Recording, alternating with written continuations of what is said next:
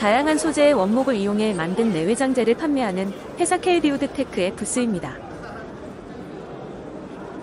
순수 원목을 이런 형태로 가공하는 게 굉장히 어려운데 깔끔하게 가공된 목재 제품을 많이 판매하고 있습니다. 실내 음향실을 만들 때 인테리어와 음향 두 가지를 모두 잡을 수 있는 제품들도 많이 있었습니다. 이 제품은 공이가 없는 무절 편백나무를 이용한 무버입니다. 북방 한계선에 인접한 고산에서 채취한 편백나무로 만든다고 하네요.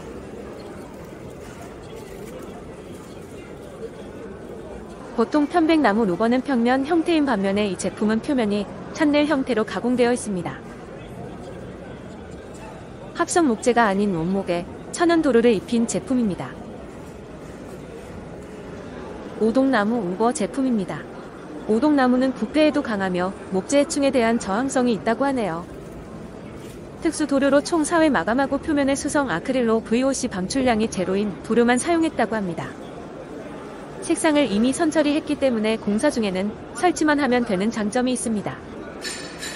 보시면 표면이 제품마다 조금씩 다른 걸 볼 수 있습니다. 표면에 따라 다섯 가지 형태로 나와 있습니다.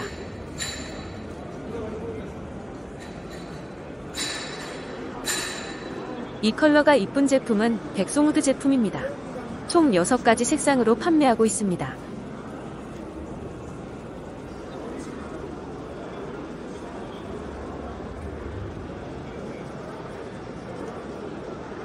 그랜드 콤비네이션 우드월이라는 찬넬 형태를 가진 제품인데 대형 빌딩이나 호텔 로비에 사용한다고 합니다. 종류는 목재 소재에 따라 단풍나무, 물푸레나무, 참나무, 소나무 타나무 4가지 종류가 있었습니다. 어쿠스틱 보드 패널은 저주파는 흡수하고 고주파는 확산하는 실내용 음향 패널이라고 합니다. 디자인 요소와 음향 요소를 같이 담아낸 제품이었습니다.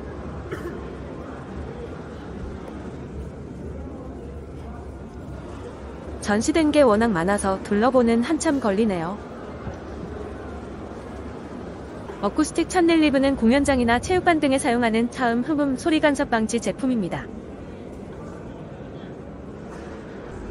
조금 전에 봤던 백송 컬러 로버인데 설치 단면도와 같이 전시되어 있었습니다.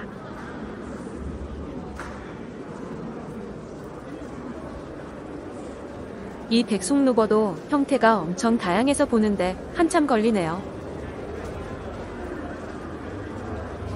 시중에 이런 형태는 합성 목재 제품이 많아서 설명마다 원목임을 강조하는 문구가 많았습니다.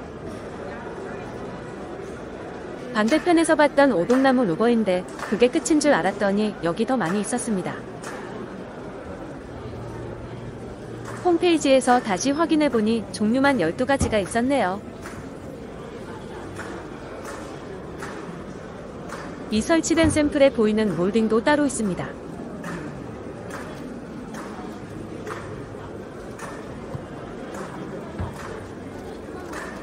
이건 음각무늬 표면을 가진 조습 wave board라고 합니다.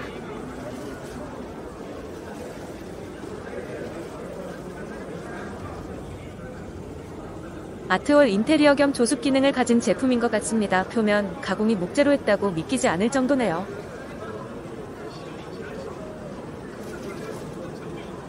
이쪽은 외장재로 사용되는 천연 목재 제품들이 전시되어 있었습니다. 교화제를 사용하면 곰팡이나 미생물이 나무를 부식시키거나 갉아먹는 것을 방지하여 외장재로 사용해도 약 10년간 별도의 관리가 필요 없다고 합니다. 너무 극한 환경에서만 사용하지 않는다면 오래 갈 것 같습니다. 이건 고열 처리 탄화목 데크제입니다.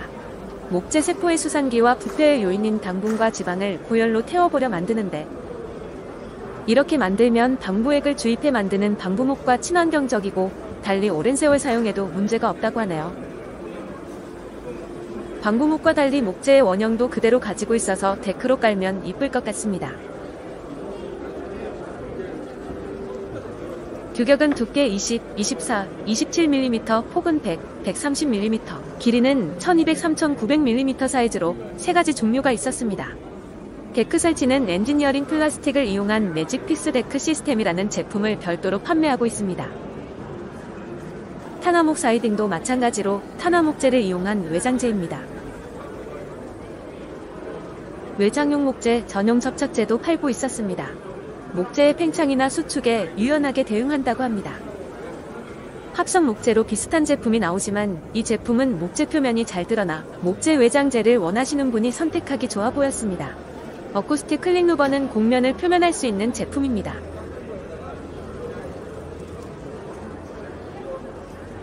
잘 보이진 않는데 특허받은 플라스틱 클립으로 설치가 된 거라고 합니다.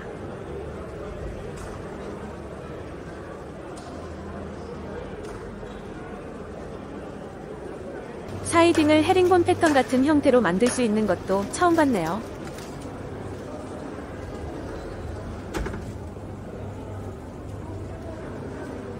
이건 미네랄 합성 보드라고 하는데 합성 목재와는 또 다른 제품이라고 합니다.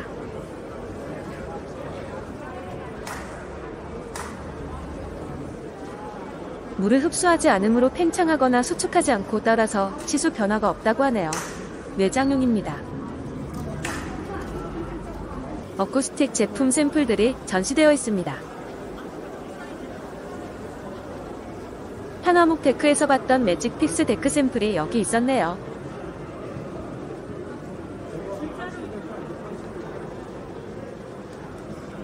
박는 면에 피스를 박는 게 아니기 때문에 보이는 면은 깨끗하게 유지할 수 있는 특징이 있습니다.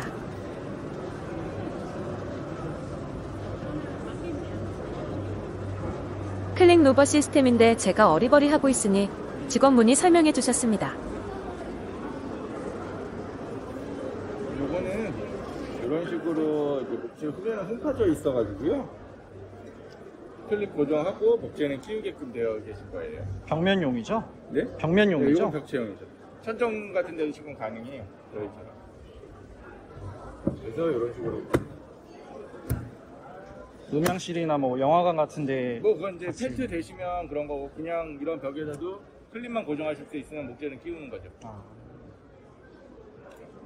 그래서 이제 목재 자체에는 피스 두거나 이런 거 없이 끼움 가능하신 부분인 거예요. 벽에는 얘로 네. 고정하고 목재는 그냥 끼우, 그렇죠. 끼워놓기만 해서 그리고 이제 요 펠트 같은 데는 얘를 고정하기가 이제 쉽지 않으니까 레일 하나 달아주시는 거고. 아, 그래서 그래요 그래서 진행하시면 되고 천정 같은 데는 보통 저런 거 저희는 이제 프로파일 써가지고 해놨는데 아, 저기도 있, 아 저기도 있구나 저쪽에 보시면 클립을 이렇게 해서 고정을 잡고요. 간격 맞춰서 잡은 다음에 이제 보통은 저희는 이제 얘 어쨌든 중량이 좀 있으니까 파워바가 시스템으로 하거든요. 파워바에다 물려주시면 되는 거예요. 그 다음에 목재는 끼워. 그리고 이제 혹시나 윗면으로 면을 막아야 된다 그러면 흡음 펠트 같은 거 대시는 경우도 있고 그냥 오픈 천정 같은 거 그냥 쓰시는 거예요. 그래서 이 프로파일까지만 저희가 이제 납품을 드리는 거예요. 그래서 파워바셔는 경량에서 이제 진행하시는 거고.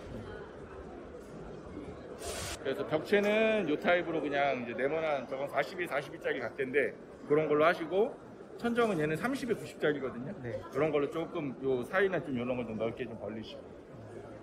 지금까지 봤던 KD우드 테크 어쿠스틱 제품들을 음향실에 세팅해 놓은 샘플 공간도 있습니다.